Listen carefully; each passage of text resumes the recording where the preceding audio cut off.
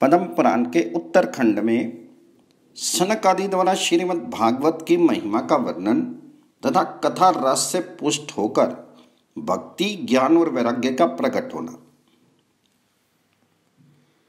नारद जी बोले, ज्ञान योग के विशेषज्ञ महात्माओं अब मैं भक्ति, ज्ञान और वैराग्य की स्थापना करने के लिए श्री सुखदेव जी के कहे हुए श्रीमद् भागवत शास्त्र की कथा द्वारा यत्न पूर्वक उज्जवल ज्ञान यज्ञ करूँगा।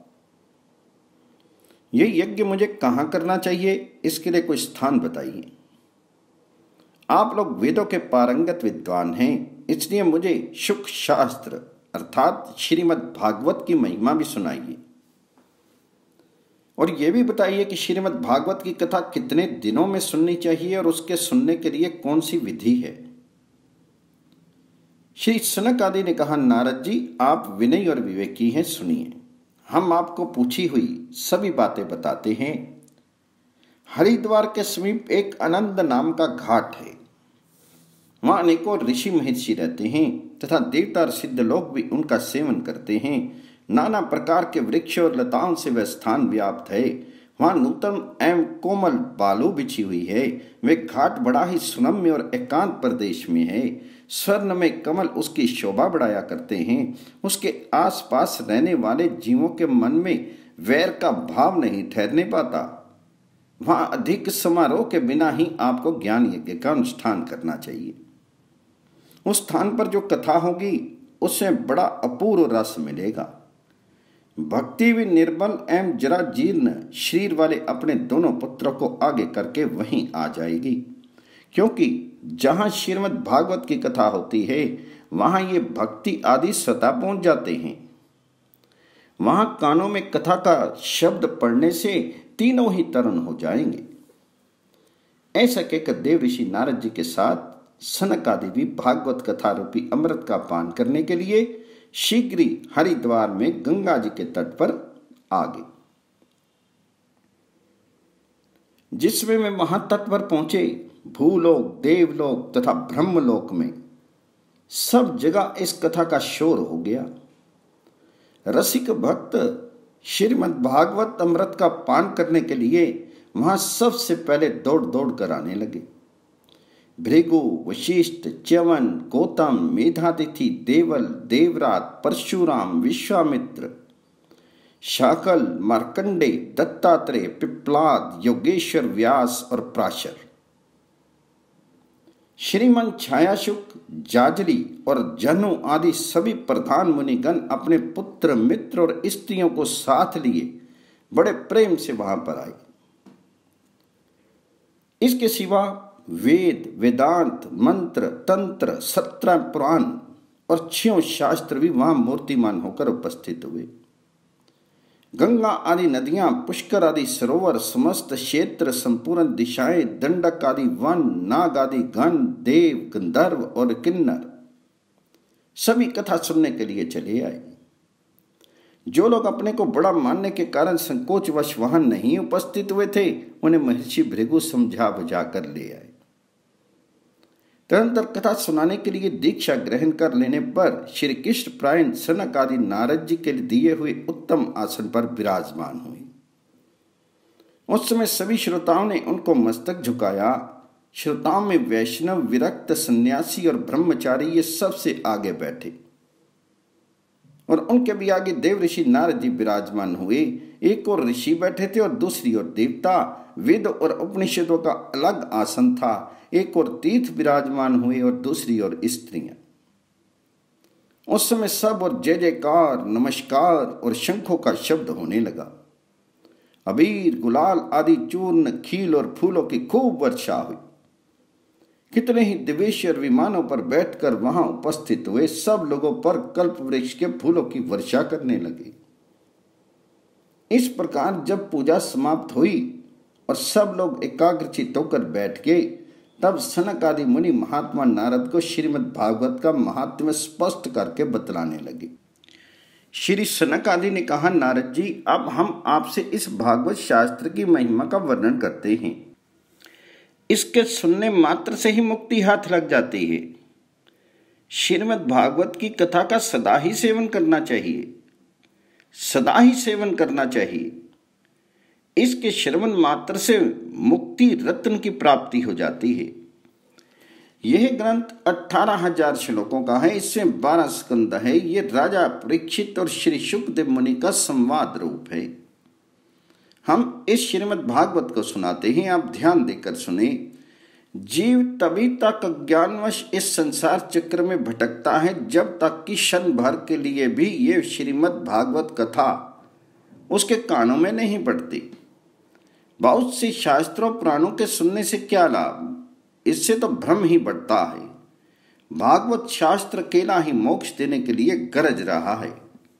जिस घर में प्रतिदिन श्रीमद् भागवत की कथा होती है, वे घर तीर्थ स्वरूप हो जाता है। जो लोग उसमें निवास करते हैं, उनके पापों का नाश कर देता है। शस्त्रों, अश्वमेघ और सैकड़ों वाजपेयी यज्ञ भी इस श्रीमद भागवत की कथा का सोलवा अंश भी नहीं हो सकते। तपधनो, मनुष्य जब तक श्रीमद् भागवत कथा का भली भांति श्रवण नहीं करते, तभी तक उनके शीर में पाप ठहर सकते हैं। गंगा, गया, काशी, पुष्कर और प्रयाग ये श्रीमद् भागवत कथा के फल की बराबरी नहीं कर सकते।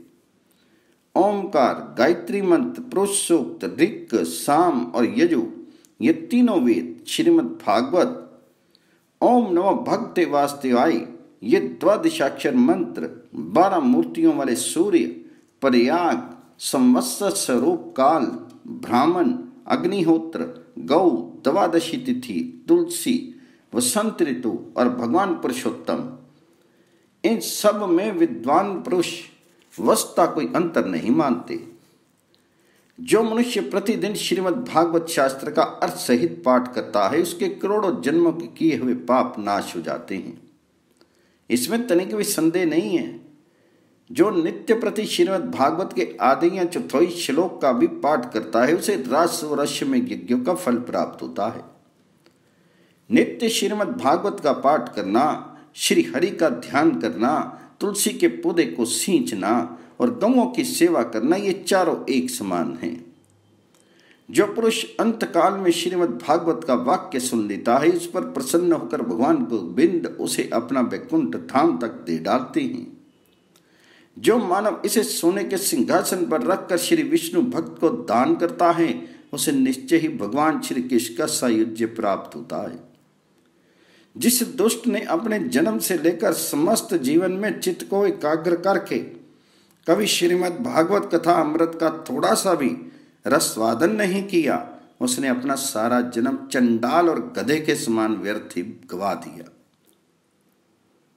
वह तो माता को प्रसव की पीड़ा पहुँचाने के लिए ही उत्पन्न हुआ था। ये कितने खेत की बात है, जिसने इस शुक शास्त्र के थोड़े से भी वचन नहीं सुने। वे पाप आत्मा जीते जीवी मुर्दे के ही समान है। वे इस पृथ्वी का भार रूप है। मनुष्य होकर भी पशु के ही तुल्य है। उसे धिक्कार है। इस प्रकार उसके विषय में सर के प्रधान प्रधान देवता कहा करते हैं, संसार में श्रीमद् भागवत की कथा परम दुर्लभ है। जब करोड़ों जन्मों के पुण्यों का उदय होता है, तभी इसकी प्राप्ति होती है। इसलिए योग निधि बुद्धिमान नारद जी श्रीमद् भागवत का यत्न पूर्वक श्रवण करना चाहिए। इसके लिए दिनों का कोई नियम नहीं है। साथ ही इसका सुनना उत्तम माना गया है। सत्य भाषण और ब्रह्मचर्य का पालन करते हुए सदा ही इसको सुनना उत्तम है। किंतु कलयुग में ऐसा होना बहुत ही कठिन है। इसलिए इसके विषय में श्री सुखदेव जी के आदेश के अनुसार ये विशेष विधि जान लेनी चाहिए। मन के असंयम रोगों के आक्रमण मनुष्यों की आयु के हरास और कलयुग के अनेक दोषों की संभावना के कारण एक सप्ताह में ही भागवत के श्रवण का नियम किया गया है। कलयुग में अधिक दिनों तक मन की वृत्तियों पर काबू रखना, नियमों का पालन करना और विधि पूर्वक दीक्षा ग्रहण करना बहुत कठिन है। इसलिए इस समय सप्ताह श्रवण का विधान है।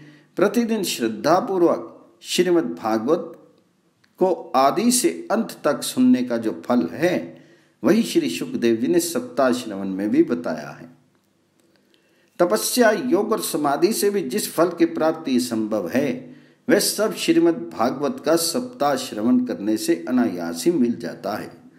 सप्ताह श्रवण यज्ञ से भी बढ़कर अपने महत्व की घोषणा करता है, व्रत से भी अधिक होने का दावा करता है, तपस्या से भी श्रेष्ठ होने की गर्जना करता है और तीर्थ से तो वह सदा बढ़कर है ही।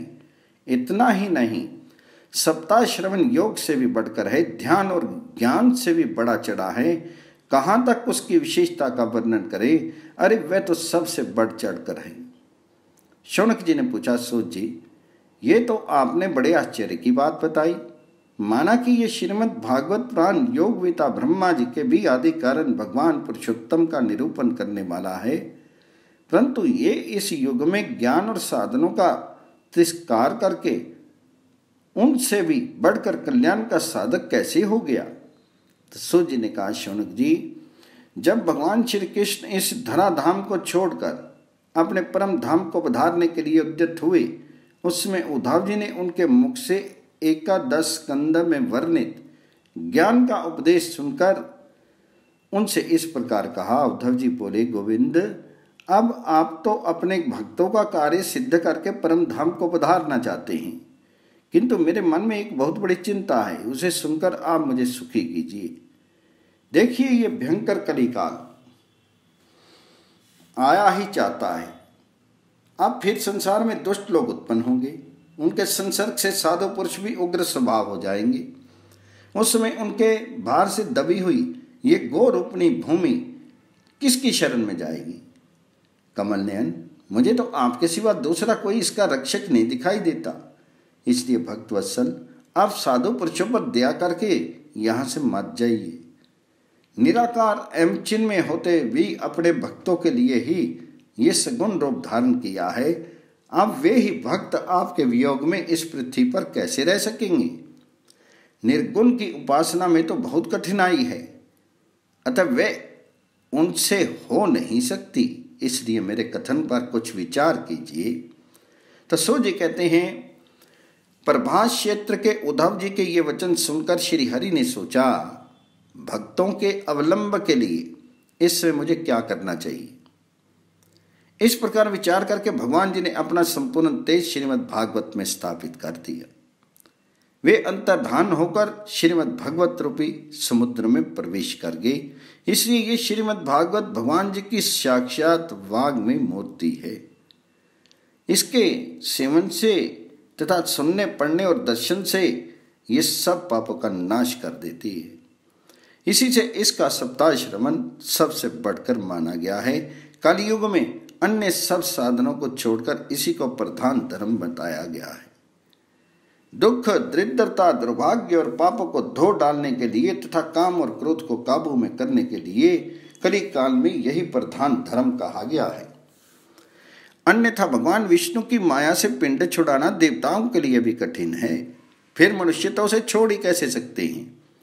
अतः इससे छुटकारा पाने के लिए भी सप्ताश्रम का विधान किया गया है। शौनक जी जब सनक आदि ऋषि इस प्रकार सप्ताह श्रवण की महान महिमा का वर्णन कर रहे थे, उस समय सभा में एक बड़े आश्चर्य की बात हुई। उसे मैं बतलाता हूँ, सुनिए। प्रेम रूपा भक्ति तरुण अवस्था को प्राप्त हुए अपने दोनों पुत्रों के साथ लेकर सहसा वहाँ पर प्रकट हो गई। उस समय उनके मुख से श्री कृष्ण, गोविंद, हरे, मुरारे, हे नाथ नारायण, वासुदेव। आदि भगवान नामों का बारंबार उच्चारण हो रहा था। उस समाज में बैठे हुए श्रोताओं ने जब श्रीमद् भागवत के अर्थभूत भगवान के गले के हार एवं मनोहर वेश वाली भक्ति देवी को वहाँ उपस्थित देखा तो वे मन ही मन तर्क करने लगे, ये मुनियों के बीच में कैसे आ गई? इनका यहाँ किस प्रकार प्रवेश हुआ? तब सनक आदि ने कहा, इस समय यह भक्ति देवी यहाँ कथा के अर्थ से ही प्रकट हुई है। उनके ये वचन सुनकर भक्ति ने पुत्रों सहित अत्यंत विनीत होकर सनत कुमार जी से कहा, महान भाव, मैं कलयुग में नष्ट प्राय हो गई थी, किंतु आपने भागवत कथा रूप अमृत से सींच कर आज फिर मुझे पुष्ट कर दिया। अब आप लोग बताइए, मैं यहाँ कहाँ रहूँ? तब ब्रह्म कुमार सनक आदि ऋषियों ने कहा, भक्ति भक्तों के हृदय में भगवान गोविंद के सुंदर रूप की स्थापना करने वाली है। वे अनन्य प्रेम प्रदान करने वाली तथा संसार रोग को हर लेने वाली है। तुम तो वही भक्ति हो, अतः धैर्य धारण करके नित्य निरंतर भक्तों के हृदय मंदिर में निवास करो। वहाँ ये कलयुग के दोष सारे संसार पर प्रभाव डालने में समर्थ होकर भी तुम्हारी ओर आँख उठाकर नहीं दे सकते। इस प्रकार उनकी आज्ञा पाते ही भक्ति देवी भगवत भक्तों के हृदय मंदिर में विराजमान हो गई। शौनक जी, जिनके हृदय में एकमात्र श्री हरि की भक्ति का ही निवास है, वे मनुष्य सारे संसार में निर्धन होने पर भी धन्य हैं, क्योंकि इस भक्ति की डोरी से बांधकर साक्षात भगवान भी अपने धाम को छोड़कर सरथान के हृदय में बस जाते हैं। भूलोक में ये श्रीमद भागवत साक्षात पर ब्रह्म का रूप है। हम इसकी महिमा का आज तुमसे कहाँ तक बखान करें? इसका आश्रय लेकर पाठ करने पर इसके वक्ता और श्रोता दोनों ही भगवान श्री कृष्ण की समता प्राप्त कर लेते हैं। अतः इसको छोड़कर अन्य धर्मों का क्या प्रयोजन है? सूर्य कहते हैं, शौनक जी तंत्र अपने भक्तों के हृदय में अलौकिक भक्ति का प्रादुर्भाव हुआ देखकर भक्त वत्सल भगवान श्री कृष्ण अपना धाम छोड़कर वहाँ पर पधारे। उनके गले में वनमाला शोभा पा रही थी। श्री विग्रह नूतन मेघ के समान श्याम वरण था। उस पर पिताम्बर शिशोभित हो रहा था। भगवान जी की वह झांकी चित्त को चुराए लेती थी। उनका कटी प्रदेश करधनी की लड़ियों से अलंकृत था। मस्तक पर मुकट और कानों में कुंडल छुआ पा रहे थे। बाकी अदा से खड़े होने के कारण वे बड़े मनोहर प्रतीत होते थे। वक्त स्थल पर सुंदर कोस्त मणि दमक रही थी। सारा श्रीअंग हरि चंदन से चर्चित था। करोड़ों कामदेवों की रूप माधुरी उन पर निछावर हो रही थी। इस प्रकार वे परम आनंद चिन्ह मूर्ति, परम मधुर मुरलीधर श्री कृष्ण अपने भक्तों के निर्णय हृदय में प्रकट हुए। वैकुंठ, अर्थात गौलोक में निवास करने वाले जो उद्धव आदि वैष्णव हैं, वे भी वह कथा सुनने के लिए गुप्त रूप से वहाँ पर उपस्थित थे। भगवान जी के पधारते ही वहाँ चारों ओर से जय जयकार की ध्वनि होने लगी। उससे भक्ति रस का अलौकिक प्रवाह बह चला। अबीर और गुलाल के साथ ही फूलों की वर्षा होने लगी। बारंबार शंख ध्वनि होती रहती थी। उस समय में जितने लोग विराजमान थे, उन्हें अपने देह गे और आत्मा तक की शुद्ध बुद्ध भूल गई थी। उनकी ये तन्मयता की अवस्था देख देव ऋषि नारद जी इस प्रकार कहने लगे, नारद जी बोले मनीषरो आज मैंने सप्ताह श्रवण की ये बड़ी अलौकिक महिमा देखी है। यहाँ जो मूड छठ और पशु पक्षी आदि हैं, वे भी इसके प्रभाव से पाप शून्य प्रतीत होते हैं। अतः इस मृत्यु लोक में चित्त शुद्धि के लिए इसके सिवा और कोई उपाय नहीं है। कली काल में श्रीमद भागवत की कथा ही पाप राशि का विनाश करने वाली है। इस कथा के समान पृथ्वी पर दूसरा कोई साधन नहीं है। अच्छा अब मुझे ये बताइए कि इस कथा में सप्ताह यज्ञ से संसार में कौन कौन लोग शुद्ध होते हैं? मुनिवर, आप लोग बड़े दयालु हैं। आप लोगों ने लोकहित का विचार करके ये बिल्कुल निराला मार्ग निकाला है।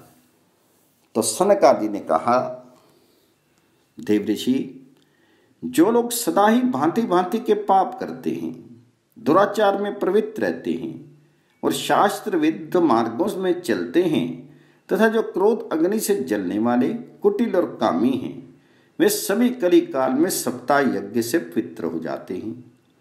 जो सत्य से हीन हैं, पिता माता की निंदा करने वाले हैं, तृष्णा से व्याकुल हैं, आश्रम धर्म से रहित हैं दम्भी हैं, दूसरों से डा रखने वाले और प्राणियों की हिंसा करने वाले हैं। वे भी कलयुग में सप्ताह यज्ञ से पवित्र हो जाते हैं। जो मद्रापान ब्रह्म हत्या सन की चोरी, गुरुपत्नी गमन और विश्वासघात, ये पाँच भयंकर पाप करने वाले, छल छदम में प्रवृत्त रहने वाले, क्रूर पिशाचों के लिए निर्दयी, ब्राह्मणों के धन से पुष्ट होने वाले और व्यभिचारी हैं। वे भी कलयुग में सप्ताह यज्ञ से पवित्र हो जाते हैं। जो शठ हठ पूर्वक मन वाणी और शीर के द्वारा सदा पाप करते रहते हैं, दूसरों के धन से पुष्ट होते हैं, मलिन शीर तथा खोटे हृदय वाले हैं। वे भी कलयुग में सप्ताह यज्ञ से पवित्र हो जाते हैं। नारद जी, इस विषय में अब हम तुम्हें एक प्राचीन इतिहास सुनाते हैं। जिसके श्रवण मात्र से पापों का नाश हो जाता है पूर्व काल की बात है। तुंगभद्रा नदी के तट पर एक उत्तम नगर बसा हुआ था। वे सभी वर्णों के लोग अपने अपने धर्मों का पालन करते और सत्य एवं सत्कर्म में लगे रहते थे। उस नगर में आत्मदेव नामक एक ब्राह्मण रहता था, जो समस्त वेदों का विशेषज्ञ और स्मार्त सोत्र कर्मों में निष्णात था। वे ब्राह्मण द्वितीय सूर्य की भांति तेजस्वी जान पड़ता था। यद्यपि वे भिक्षा से ही जीवन निर्वाह करता था तो भी लोक में धनवान समझा जाता था। उसकी स्त्री का नाम धुंधली था। वह सुंदरी तो थी ही, अच्छे कुल में भी उत्पन्न हुई थी, फिर भी स्वभाव की बड़ी हठीली थी। सदा अपने ही टेक रखती थी। हमेशा दूसरे लोगों की चर्चा किया करती, उसमें क्रूरता भी थी तथा वे प्राय बहुत बकवाद किया करती थी, परंतु घर का काम काज करने में बड़ी बहादुर थी। कंजूस भी कम नहीं थी। कलय का तो उसे व्यसन सा हो गया था। वे दोनों पति पत्नी बड़े प्रेम से रहते थे, फिर भी उन्हें कोई संतान नहीं थी। इस कारण धन, भोग, सामग्री तथा घर आदि कोई भी वस्तु उन्हें सुखद नहीं जान पड़ती थी। कुछ काल के पश्चात उन्होंने संतान प्राप्ति के लिए धर्म का अनुष्ठान प्रारंभ किया। वे दिनों को सदा गौ, भूमि, स्वर्ण और वस्त्र आदि दान करने लगे। उन्होंने अपने धन का आधा भाग धर्म के मार्ग पर खर्च कर दिया। तो भी उन्हें ना कोई पुत्र हुआ, ना पुत्री। इससे ब्राह्मण को बड़ी चिंता हुई। वे आकुल हो उठा और एक दिन अत्यंत दुख के कारण घर छोड़कर वन में चला गया। वहाँ दोपहर के समय उसे प्यास लगी, इसलिए वहाँ एक पोखरे के किनारे गया और वहाँ जल पीकर बैठ गया। संतानहीनता के दुख से उसका सारा शीत सूख गया था। उसके बैठने के दो ही घड़ी बाद एक सन्यासी वहाँ आई। उन्होंने भी पोखरे में जल पिया। ब्राह्मण ने देखा, वे जल पी चुके हैं। तो वह उनके पास गया और चरणों में मस्तक झुकाकर ज़ोर ज़ोर से सांस लेता हुआ सामने खड़ा हो गया। सन्यासी ने पूछा, ब्राह्मण, तुम रोते क्यों हो? तुम्हें क्या भारी चिंता सता रही है? तुम शीघ्र मुझसे अपने दुख का कारण बताओ। तो ब्राह्मण ने कहा, मुनि, मैं अपना दुख क्या कहूँ? ये सब मेरे पूर्व पापों का संचित फल है। मेरे कोई संतान नहीं है। इससे मेरे पितर भी दुखी हैं। वे मेरे पूर्वज मेरी दी हुई जलांजलि को जब पीने लगते हैं उसे मैं उनकी चिंता जनित सांसों से कुछ खरम हो जाता है। देवता और ब्राह्मण भी मेरी दी हुई वस्तु को प्रसन्नतापूर्वक नहीं लेते। संतान के दुख से मेरा संसार सूना हो गया है। अतः अब मैं यहाँ प्राण त्यागने के लिए आया हूँ। संतानहीन पुरुष का जीवन धिक्कार के योग्य है। जिस घर में कोई संतान, कोई बाल बच्चे ना हो वह घर भी धिक्कार देने योग्य है। निसंतान पुरुष के धन को भी धिक्कार है। तथा संतानहीन कुल भी धिक्कार के ही योग्य है। मैं अपने दुर्भाग्य को कहाँ तक बताऊँ? जिस गाय को पालता हूँ, वह भी बंदिया हो जाती है। मैं जिसको रोपता हूँ, उस वृक्ष में भी फल नहीं लगते। इतना ही नहीं, मेरे घर में बाहर से जो फल आता है, वह भी शीघ्र सूख जाता है। जब मैं ऐसा अभागा और संतानहीन हूँ तो इस जीवन को रखने से क्या लाभ है? यो कहकर वह ब्राह्मण दुख से व्यथित हो उठा और उस सन्यासी बाबा के पास फूट फूट कर रोने लगा। सन्यासी के हृदय में बड़ी करना भार आई। वे योगी भी थे, उन्होंने ब्राह्मण के लाट में लिखे हुए विधाता के अक्षरों को पढ़ा और सब कुछ जानकर विस्तार पूर्वक कहना आरंभ किया।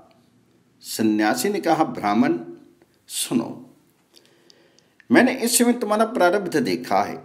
उससे जान पड़ता है कि सात जन्मों तक तुम्हारे कोई संतान किसी प्रकार नहीं हो सकती। तो संतान का मुँह छोड़ो, क्योंकि यह महान अज्ञान है। देखो, कर्म की गति बड़ी प्रबल है। अतः विवेक का आश्रय लेकर संसार की वासना त्याग दो। आज पूर्व काल में संतान के ही कारण राजा सगर और अंग को दुख भोगना पड़ा था। इसलिए अब तुम कुटुंब की आशा छोड़ दो। त्याग में ही सब प्रकार का सुख है। तो ब्राह्मण बोले, बाबा, विवेक से क्या होगा? मुझे जो जैसे बने वैसे पुत्री दीजिए। नहीं तो मैं शोक से मूर्छित होकर आपके आगे ही प्राण त्याग दूँगा। पुत्र आदि के सुख से हीन ये संन्यास तो सरता नीरस ही है। संसार में पुत्र पुत्र से भरा हुआ ग्रस्त आश्रम ही सरस है। ब्राह्मण का ये आग्रह देखकर उस तपोधन ने कहा, देखो, विधाता के लेख को मिटाने का हट करने से राजा चित्रकेतु को कष्ट भोगना पड़ा। अतः देव ने जिसके पुरुषार्थ को कुशल दिया हो, उसको कुचल दिया हो, ऐसे पुरुष के समान तुम्हें पुत्र से सुख नहीं मिलेगा। फिर भी तुम हट करते जा रहे हो। तुम केवल अपना स्वार्थ ही सूझ रहा है। अतः मैं तुम्हें क्या कहूँ? अंत ब्राह्मण का बहुत आग्रह देखकर सन्यासी ने उसे एक फल दिया और कहा, इसे तुम अपनी पत्नी को खिला देना। इससे उसके एक पुत्र होगा। तुम्हारी स्त्री को चाहिए कि वह एक वर्ष तक सत्य, शोच, दया और दान का नियम पालन करते हुए प्रतिदिन एक समय भोजन करे। इससे उसका बालक अत्यंत शुद्ध स्वभाव वाला होगा। ऐसा कहकर वे योगी महात्मा चले गए और ब्राह्मण अपने घर लौट आया। यहाँ उसने अपने पत्नी के हाथ में फल दे दिया और स्वयं कहीं चला गया, उसकी पत्नी तो कुटिल स्वभाव की थी ही। अपनी सखी के आगे रो रो कर इस प्रकार कहने लगी, अहो, मुझे तो बड़ी भारी चिंता हो गई मैं तो इस फल को नहीं खाऊँगी। सखी, इस फल को खाने से गर्भ रहेगा और गर्भ से पेट बढ़ जाएगा। फिर तो खाना पीना कम होगा और इससे मेरी शक्ति घट जाएगी। ऐसी दिशा में तुम्हें बताओ, घर का काम धंधा कैसे होगा? यदि देववश गाँव में लूट पड़ जाए तो गर्भिणी स्त्री भाग कैसे सकेगी?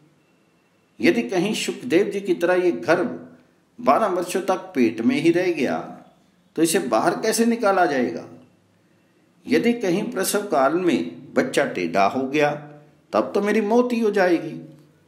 बच्चा पैदा होते समय बड़ी असहाय पीड़ा होती है। मैं कुमारी स्त्री भला उसे कैसे सह सकूँगी?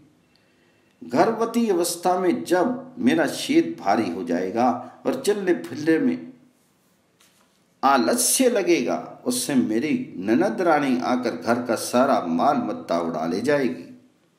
और तो और, ये सत्य शौचादि का नियम पालन तो मेरे लिए बहुत ही कठिन दिखाई देता है, जिस स्त्री के संतान होती है, उसे बच्चों के लालन पालन में भी कष्ट भोगना पड़ता है।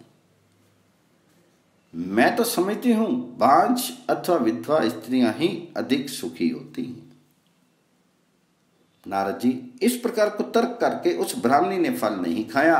जब पति ने पूछा, तुमने फल खाया? तो उसने कह दिया हाँ खा लिया। एक दिन उसकी बहन अपने आप ही उसके घर आई। धुंधली ने उसके आगे अपना सारा वृत्तांत सुनाकर कहा, बहन, मुझे इस व्रत की बड़ी चिंता है, किंतु संतान न होने पर भी मैं पति को क्या उत्तर दूँगी? इस दुख के कारण मैं दिनों दिन दुबली होती जा रही हूँ। बताओ मैं क्या करूँ? तब उसने कहा, दीदी, मेरे पेट में बच्चा है। प्रसव होने पर वह बालक मैं तुमको दे दूँगी। तब तक तुम गर्भवती स्त्री की भांति घर में छिपकर मौत से रहो। तुम मेरे पति को धन दे देना, इससे वे अपना बालक तुम्हें दे देंगे। और लोगों से इस बात का प्रचार कर देंगे कि मेरा बच्चा छह महीने का होकर मर गया। मैं प्रतिदिन दूसरे घर में आकर बच्चे का पालन पोषण करती रहूँगी। तुम इस समय परीक्षा लेने के लिए यह फल गौ को खिला दो। तब उस ब्राह्मणी ने स्त्री स्वभाव के कारण वह सब कुछ वैसे ही किया। तंत्र समय आने पर उसकी बहन को बच्चा पैदा हुआ। बच्चे के पिता ने बालक को लाकर एकांत में धुंधली को दे दिया। उसने अपने स्वामी को सूचना दे दी कि मेरे बच्चा पैदा हो गया और कोई कष्ट नहीं हुआ। आत्मदेव के पुत्र होने से लोगों को बड़ी प्रसन्नता हुई। ब्राह्मण ने बालक का जात क्रम संस्कार करके ब्राह्मणों को दान दिया। उसके दरवाजे पर गाना बजाना आदि नाना प्रकार का मांगलिक उत्सव होने लगा। धुंधली ने स्वामी से कहा, मेरे दूध नहीं है। फिर गाय, भैंस आदि अन्य जीवों के दूध से मैं बालक का पोषण कैसे करूँगी? मेरी बहन को भी बच्चा हुआ था, किंतु वह मर गया है। अतः अब उसी को बुलाकर घर में रखिए। वही आपके बालक का पालन पोषण करेगी, उसके पति ने पुत्र की जीवन रक्षा के लिए सब कुछ किया। माता ने उसका नाम धुंधुकारी रखा। तंत्र तीन महीने बीतने के बाद ब्राह्मण की गऊ ने भी एक बालक को जन्म दिया। जो सर्वांग सुंदर, दीर्घ, निर्मल एवं स्वर्ण की सी कांति वाला था। उसे देखकर ब्राह्मण देवता को बड़ी प्रसन्नता हुई। उसने स्वयं ही बालक के सब संस्कार किए। ये आश्चर्यजनक समाचार सुनकर सब लोग उसे देखने के लिए आए और आपस में कहने लगे, देखो, इसमें आत्मदेव का कैसा भाग्य उदय हुआ है। कितने आश्चर्य की बात है कि गाय के पेट से भी देवता के समान रूप वाला बालक उत्पन्न हुआ। किंतु देवयोग से किसी को भी इस गुप्त रहस्य का पता नहीं लगा। उस बालक के कान गौ के समान थे। ये देखकर आत्मदेव ने उसका नाम गोकर्ण रख दिया। कुछ काल व्यतीत होने पर वे दोनों बालक जवान हो गए। उनको गोकर्ण तो पंडित और ज्ञानी हुआ, किंतु धुंधुकारी, महादुष्ट निकला। स्नान और शोचाचार का तो उनमें नाम भी नहीं था। वे भक्ष्य भक्षण करता, क्रोध से भरा रहता बुरी बुरी वस्तुओं का संग्रह किया करता था। भोजन तो वह सबके हाथ का कर लेता था। चोरी करना, सब लोगों से देश बढ़ाना, दूसरों के घरों में आग लगा देना और खिलाने के बहाने छोटे बच्चों को पकड़कर कुएँ में डाल देना। जीवों की हिंसा करने का उसका स्वभाव हो गया था। वे हमेशा हथियार लिए रहता और दीन दुखियों एवं अंधों को कष्ट पहुँचाया करता था। चंडालों के साथ उसने खूब हेलमेल बढ़ा लिया था। मैं प्रतिदिन हाथ में फंदा लिए कुत्तों की टोली के साथ शिकार किटों में घूमता रहता था। उसने वैश्या के कुसंग में पड़कर पिता का सारा धन बर्बाद कर दिया। एक दिन तो माता पिता को खूब पीट कर वे घर के सारे बर्तन भांडे उठा ले गया इस प्रकार धनहीन हो जाने के कारण बेचारा बाप फूट फूट कर रोने लगा। वे बोला, इस प्रकार पुत्रवान बनने से तो अपुत्र रहना ही अच्छा है। कुपुत्र बड़ा ही दुखदायी होता है। अब मैं क्या कहूँ? कहाँ जाऊँ? कौन मेरा दुख दूर करेगा? मुझ पर बड़ा भारी कष्ट आ पहुँचा है अब तो मैं इस दुख से अपना प्राण त्याग दूँगा। इसी समय ज्ञानवान गोकर्ण जी वहाँ आए और वैराग्य का महत्व दिखलाते हुए अपने पिता को समझाने लगे। पिताजी, इस संसार में कुछ भी सार नहीं है। दुख ही इसका स्वरूप है। ये जीव को मुँह में डालने वाला है। भला यहाँ कौन किसका पुत्र है और कौन किसका धन? जो इनमें आसक्त होता है, उसे ही रात दिन जलना पड़ता है। इंद्र तथा चक्रवर्ती राजाओं को भी कुछ सुख नहीं है। सुख तो बस एकांतवासी वैराग्यवान मुनि को ही है। संतान की प्रति तो आज जो आपकी ममता है, वे महान अज्ञान है, इसे छोड़ दीजिए। मोह में फंसने से मनुष्य को नरक में जाना पड़ता है। औरों की तो बात ही क्या है, आपका ये प्रिय शरीर भी एक ना एक दिन नष्ट हो जाएगा। आपको छोड़कर चल देगा। इसलिए आप अभी से सब कुछ छोड़कर वन में चले जाइए। गोकर्ण की बात सुनकर उसके पिता आत्मदेव वन में जाने के लिए उद्यत होकर बोले, तात, मुझे वन में रहकर क्या करना चाहिए? ये विस्तार पूर्वक बताओ। मैं बड़ा शर्ट हूँ। अब तक कर्म शनि के बंधन में बंध कर मैं अपंग की भांति इस किराय रूपी अंधेरे कुएँ में ही पड़ा रहा हूँ। दयानिधि तुम निश्चय ही मेरा उद्धार करो। तो गुकर ने कहा, पिताजी, हड्डी, मांस और रक्त के पिंड रूप इस शरीर में आप, मैंपन का अभिमान छोड़ दीजिए। और स्त्री पुत्र आदि में भी ये मेरे हैं, इस भाव को सदा के लिए त्याग दीजिए। इस संसार को निरंतर शन भंगुर देखिए और एकमात्र वैराग्य रस के रसिक होकर भगवान जी के भजन में लग जाइए। सदा भगवत जन रूप दिव्य धर्मों का ही आश्रय लीजिए। सकाम भाव से किए जाने वाले लौकिक धर्म को छोड़िए। साधु पुरुषों की सेवा कीजिए। भोगों की तृष्णा को त्याग दीजिए। तथा दूसरों के गुण दोषों का विचार करना। शीघ्र छोड़कर निरंतर भगवत सेवा एवं भगवत कथा के रस का पान कीजिए।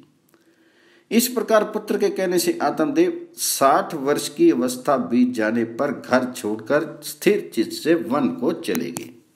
और वहाँ प्रतिदिन भगवान श्री हरि की परिचर्या करते हुए नियम पूर्वक दशंत स्कंद का पाठ करने से उन्होंने भगवान श्री कृष्ण चंद्र को प्राप्त कर लिया। पदम प्राण के उत्तरखंड में गोकर्ण जी की भागवत कथा से धंधुकारी का प्रेत योनि से उद्धार तथा समस्त श्रोताओं को परम धाम की प्राप्ति। सोजी कहते हैं, पिता के विरक्त होकर वन में चले जाने के बाद एक दिन धंधुकारी ने अपनी माता को खूब पीटा और कहा, बता, धन कहाँ रखा है? नहीं तो लातों से तेरी खबर लूँगा। उसकी इस बात से डरकर और पुत्र के उपद्रव से दुखी होकर उसकी माँ रात को कुएँ में कूद पड़ी। इससे उसकी मृत्यु हो गई।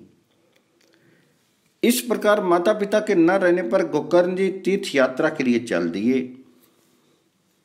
वे योगनिष्ठ थे। उनके मन में इस घटना के कारण ना कोई दुख था, ना कोई सुख, क्योंकि उसका ना कोई शत्रु था, न मित्र। अब धंधोकारी पाँच वैश्याओं के साथ घर में रहने लगा। उनके पालन पोषण के लिए बहुत सामग्री जुटाने की चिंता से उसकी बुद्धि मोहित हो गई थी, अतः वह अत्यंत क्रूरतापूर्ण कर्म करने लगा। एक दिन उन कुलटाओं ने उससे गहनों के लिए इच्छा प्रकट की। धंधोकारी तो काम से अंधा हो रहा था। उसे अपनी मृत्यु की भी याद नहीं रहती थी। वह गहने जुटाने के लिए घर से निकल पड़ा और जहाँ तहां से बहुत सा धन चुराकर पुनः अपने घर लौट आया। वहाँ आकर उसने उन वैश्याओं को बहुत से सुंदर सुंदर वस्त्र और कितने ही आभूषण दिए। अधिक धन का संग्रह देखकर रात में उन स्त्रियों ने विचार किया। ये प्रतिदिन चोरी करने जाता है। अतः राजा इसे अवश्य पकड़ेंगे।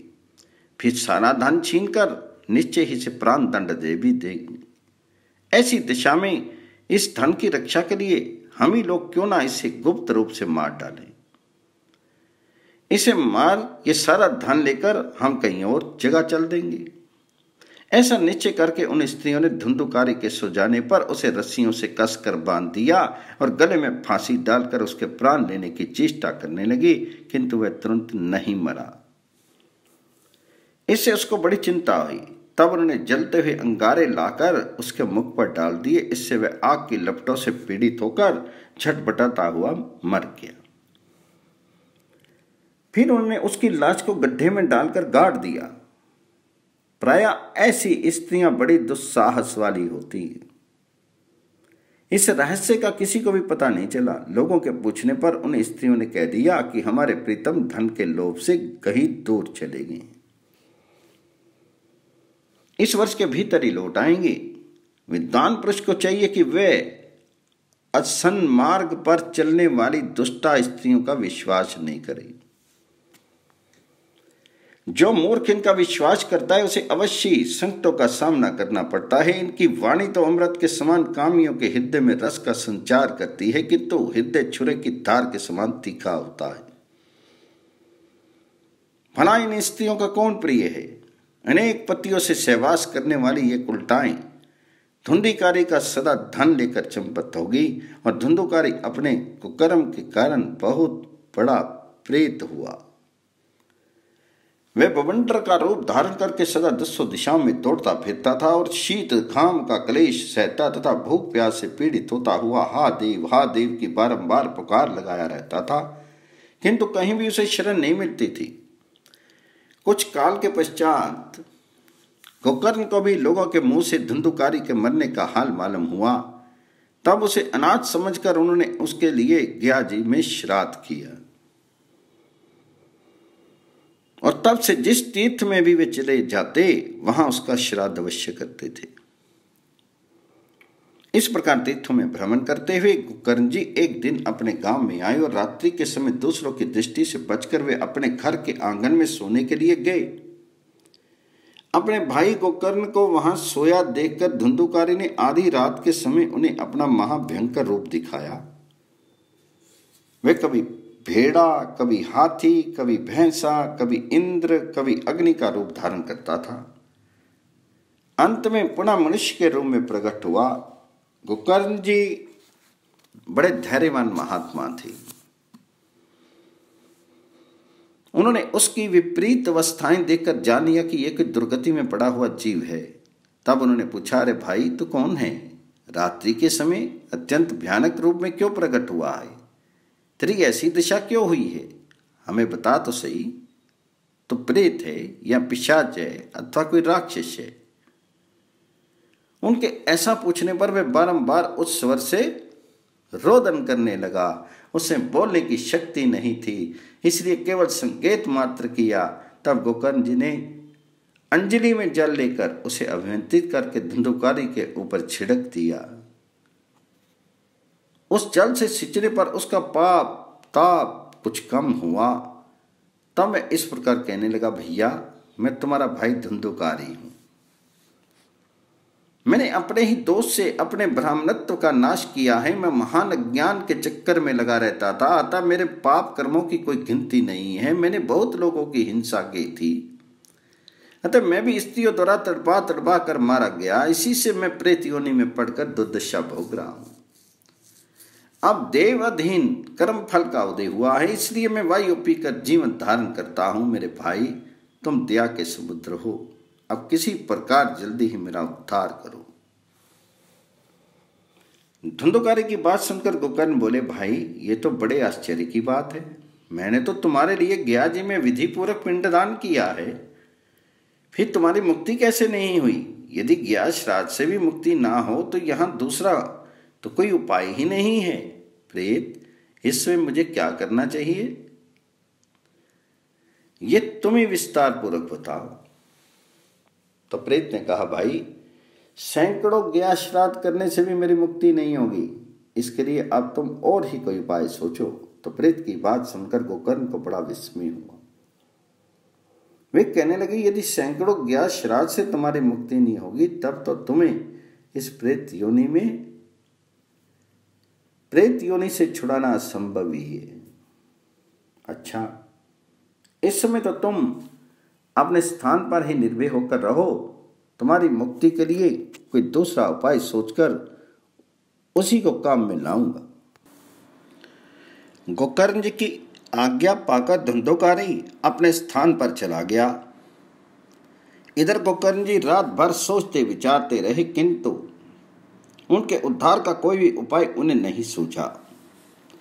सवेरा होने पर उन्हें आया देखकर गाँव के लोग बड़े प्रेम के साथ उनसे मिलने के लिए आए। तब गुकर ने रात में जो घटना घटित हुई थी, वह सब उन्हें कह सुनाई। उनमें जो लोग विद्वान, योगनिष्ठ, ज्ञानी और ब्रह्मवादी थे, उन्होंने शास्त्र ग्रंथों को उलट पलट कर देखा, किंतु उन्हें धुंधुकारी के उद्धार का कोई उपाय नहीं दिखाई दिया। तब सब लोगों ने मिलकर यही निश्चय किया कि भगवान सूर्य नारायण उनकी मुक्ति के लिए जो उपाय बतावें, वही करना चाहिए। ये सुनकर गोकर्ण ने भगवान सूर्य की ओर देखकर कहा, भगवान, आप सारे जगत के साक्षी हैं। आपको नमस्कार है। आप मुझे धंधुकारी की मुक्ति का साधन बताइए। ये सुनकर सूर्यदेव ने दूसरे ही स्पष्ट वाणी में कहा श्रीमद भागवत से मुक्ति हो सकती है। तुम उसका सप्ताह प्रायण करो। भगवान सूर्य का ये ध्वनि रूप वचन वहाँ सब लोगों ने सुना और सबने यही बात कही, ये तो बहुत सरल साधन है। इसको यत्न पूर्वक करना चाहिए। गोकर्ण जी ऐसा ही निश्चय कर कथा बांचने को तैयार हो गए। उस समय वहाँ कथा सुनने के लिए आसपास के स्थानों और गाँव से लोग एकत्रित होने लगे। अपांग, अंधे, बूढ़े और मंद भाग्य पुरुष भी अपने पापों का नाश करने के लिए वहाँ पर आ पहुँचे। इस प्रकार बहुत बड़ा समाज जुट गया जो देवताओं को भी आश्चर्य में डालने वाला था। जिस समय गोकर्ण जी व्यास गद्दी पर बैठकर कथा बांचने लगे, उस समय वह प्रेत भी वहाँ आया और इधर, उधर बैठने के लिए स्थान ढूँढने लगा। इतने में ही उसकी दृष्टि एक साथ गांठ वाले ऊँचे बास पर पड़ी उसी के नीचे वाले छेद में घुसकर वह कथा सुनने के लिए बैठा। वायु रूप होने के कारण वह बाहर कहीं बैठ नहीं सकता था। इसलिए बाँस में ही घुस गया था। गोकर्ण जी ने एक वैष्णव ब्राह्मण को प्रधान श्रोता बनाकर पहले स्कंद से ही स्पष्ट वाणी में कथा सुनानी आरंभ की। सायकाल में जब कथा बंद होने लगी, तब एक विचित्र घटना घटित हुई। सब श्रोताओं के देखते देखते तड़ तड़ शब्द करते ही बाँस की एक गांठ फट गई। दूसरे दिन शाम को दूसरी गांठ फटी, तीसरे दिन भी उसी समय तीसरी गांठ फट गई। इसी प्रकार सात दिनों में उस बाँस की सातों गांठों को फोड़कर धुंधुकारी ने बारह स्कंदों के श्रवण से निष्पाप होकर प्रेत योनि का त्याग कर दिया और देवी रूप धारण करके वह सबके सामने प्रकट हो गया। उसका मेघ के समान श्याम वरण था। शीर पर पिताम्बर शोभा पा रहा था। गले में तुलसी की माला उसकी शोभा बढ़ा रही थी। मस्तक पर मुकट और कानों में दिव्य कुंडल झलमला रहे थे। उसने तुरंत अपने भाई गोकर्ण को प्रणाम किया और कहा, भाई, तुमने कृपा करके मुझे प्रेत योनि के क्लेशों से मुक्त कर दिया। प्रेत योनि की पीड़ा नष्ट करने वाली ये श्रीमद् भागवत की कथा धन्य है। तथा भगवान श्री कृष्ण के परम धाम की प्राप्ति कराने वाला इसका सप्ताह प्रायण भी धन्य है। सप्ताह कथा सुनने के लिए बैठ जाने पर सारे पाप कामने लगते हैं। उन्हें इस बात की चिंता होती है कि अब ये कथा शीघ्र ही हम लोगों का अंत कर देगी। जैसे आग गीली, सूखी, छोटी और बड़ी सभी तरह की लकड़ियों को जला डालती है, उसी प्रकार ये सप्ताह श्रवण, मन, वाणी और क्रिया द्वारा किए हुए इच्छा या अनिच्छा से होने वाले बड़े छोटे सभी तरह के पापों को भस्म कर देता है। विद्वानों ने देवताओं की सभा में कहा है कि इस भारतवर्ष में जो पुरुष श्रीमद भागवत की कथा नहीं सुनते हैं, उनका जन्म व्यर्थ ही है। यदि भागवत शास्त्र की कथा सुनने को ना मिली तो मोह पूर्वक पालन करके रिष्ट पुष्ट और बलवान बनाए हुए इस अनित्य शीत से क्या लाभ हुआ? जिसमें हड्डियाँ ही खंबे हैं, जो नस नाड़ी रूप रस्सियों से बंधा हुआ है, जिसके ऊपर मांस और रक्त का लेप उसे चमड़े से मर दिया गया है, जिसके भीतर से दुर्गंध आती रहती है, जो मलमूत्र का पात्र ही है। वृद्धावस्था और शोक के कारण जो परिणाम में, दुख में जान पड़ता है, जिसमें रोगों का निवास है। जो सदा किसी कामना से आतुर रहता है, जिसका पेट कभी नहीं भरता जिसको सदा धारण किए रहना कठिन है, तथा जो अनेक दोषों से भरा हुआ और शन भंगुर है। वही ये शीर कहलाता है। अंत में इसकी तीन ही गतियाँ होती हैं। यदि मृत्यु के पश्चात इसे गाड़ दिया जाए तो इसमें कीड़े पड़ जाते हैं। कोई पशु खा जाए तो ये विष्टा बन जाता है। और यदि अग्नि में जला दिया जाए तो ये राख का ढेर हो जाता है। ऐसी दिशा में भी मनुष्य इस अस्थिर शरीर से स्थायी फल देने वाला कर्म क्यों नहीं कर लेता? प्रातः काल जो अन्न पकाया जाता है वे शाम होने तक बिगड़ जाता है। फिर उसी के रस से पुष्ट हुए इस शरीर से नित्यता क्या है? इस लोक में श्रीमद भागवत का सप्ताह सुनने से अपने निकट ही भगवान की प्राप्ति हो जाती है। अतः सब प्रकार के दोषों की निवृत्ति के लिए एकमात्र यही साधन है। जहाँ कथा श्रवण करने से जड़ एवं सुखे बाँस की गांठें फट सकती हैं, वही यदा हृदय की गांठें खुल जाए तो इसमें क्या आश्चर्य है? जो भागवती कथा सुनने से वंचित हैं, जो लोग जल में बुद्ध बुद्धों और जीवों में मच्छरों के समान केवल मारने के लिए पैदा हुए हैं सत्ता श्रवण करने पर हृदय की अज्ञान में गांठ खुल जाती है, सारे संदेह नष्ट हो जाते हैं और बंधन के हेतु भूत समस्त कर्म क्षीण हो जाते हैं।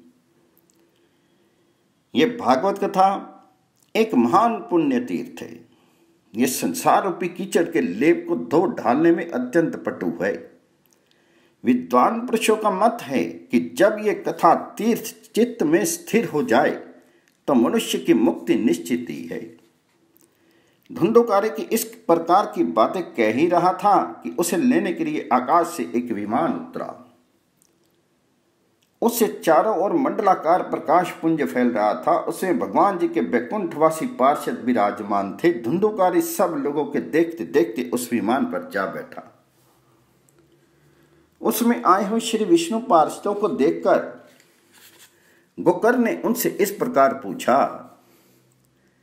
भगवान के परिकरो, ये तो बहुत से शुद्ध अंतकरण वाले मेरे कथा के श्रोता बैठे हुए हैं। आप लोग एक ही साथ इनके लिए भी विमान क्यों नहीं लाए? देखने में आता है, सबने समान रूप से यहाँ कथा श्रवण की है। फिर फल में क्यों इस प्रकार का भेद हुआ यह बताने की कृपा कीजिए। तो भगवान जी के पार्षद बोले, गोकर्ण जी, इसके कथा श्रवण में भेद होने से ही फलों में भी भेद होता है। यद्यपि श्रवण सब लोगों ने ही किया है, किंतु इसके जैसा मनन किसी ने नहीं किया है। इसलिए फल में भेद हुआ है। पुनः कथा श्रवण करने पर यह फल भेद भी दूर हो जाएगा। प्रेत ने सात रात उपवास करके कथा श्रवण किया है। अतः उसने स्थिर चित्त से भली भांति मनन आदि किया है। जो ज्ञान दृढ़ नहीं होता वे व्यर्थ हो जाता है। इसी प्रकार ध्यान न देने से श्रवण, संदेशी मंत्र और चंचल चित होने से जप निष्फल हो जाता है। वैष्णव पुरुषों से रहित देश कुपात्र ब्राह्मण से कराया हुआ श्राद्ध, अशोत्रिय को दिया हुआ दान और सदाचारहीन कुल भी नष्ट सदा समझना चाहिए। गुरु के वचनों में विश्वास हो, अपने में दीनता की भावना बनी रहे, मन के दोषों को काबू में रखा जाए और कथा में दृढ़ निष्ठा बनी रहे। इन सब बातों का यदि पालन किया जाए तो अवश्य कथा श्रवण का पूरा पूरा फल मिलता है। पुनः कथा श्रवण करने के पश्चात इन सब लोगों का वैकुंठ में निवास निश्चित है। गोकर्ण जी, तुम तो स्वयं भगवान श्री कृष्ण ही गोलोक प्रदान करेंगे।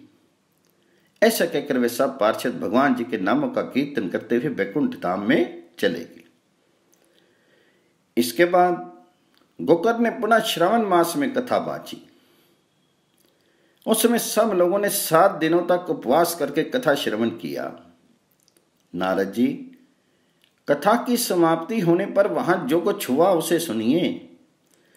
उस समय बहुत से विमानों के साथ लिए भक्तों सहित भगवान उस स्थान पर प्रकट हो गई चारों ओर से जय जयकार और नमस्कार के शब्द बारंबार सुनाई देने लगे।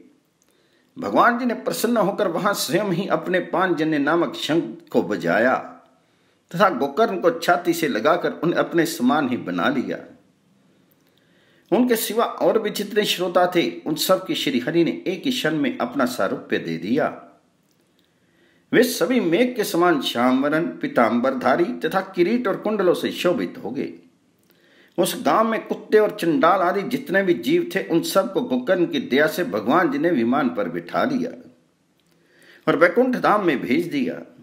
जहाँ योगी पुरुष जाया करते हैं, तत्पश्चात भक्तवत्सल भगवान गोपाल कथा श्रवण से प्रसन्न होकर गोकर्ण को साथ लेकर गोप वल्लभ गोलोक धाम को पधारे। जैसे पूर्व काल में समस्त अयोध्यावासी भगवान श्री रामचंद्र जी के साथ साकेत धाम में गए थे, उसी प्रकार भगवान श्री कृष्ण ने उस गाँव के सब मनुष्यों को योगियों के लिए भी दुर्लभ गोलोक धाम में पहुँचा दिया। जहाँ सूर्य चंद्रमा और सिद्ध पुरुषों की भी कभी पहुँच नहीं होती, उसी लोक में वहाँ के सब प्राणी केवल श्रीमद् भागवत की कथा सुनने से चले गए। नारद जी, श्रीमद् भागवत की कथा में सप्ताह यज्ञ से जिस उज्जवल फल समुदाय का संचय होता है, उसका इस समय हम आपसे क्या वर्णन करें, जिन्होंने गोकर्ण जी की कथा का एक अक्षर भी अपने करण पुटों के द्वारा पान किया, वे फिर माता के गर्भ में नहीं आए। हवा पीकर, पत्ते चबाकर और शीर को सुखाकर। दीर्घ काल तक कठोर तपस्या करने से तथा योग अभ्यास करने से भी मनुष्य उस गति को नहीं प्राप्त होते जिससे वे सप्ताह कथा के श्रवण से पा लेते हैं। मनीश्वर, शांडिल्य, चित्रकूट में रहकर, ब्रह्मानंद में निमग्न होकर इस पित्र इतिहास का सदा पाठ किया करते थे। ये उपाख्यान परम पवित्र है। एक बार श्रवण करने पर भी सारी पाप राशि को भस्म कर देता है। यदि श्राद्ध में इसका पाठ किया जाए तो इससे पितरों को पूर्ण तृप्ति होती है और प्रतिदिन इसका पाठ करने से मनुष्य को मोक्ष प्राप्त हो जाता है।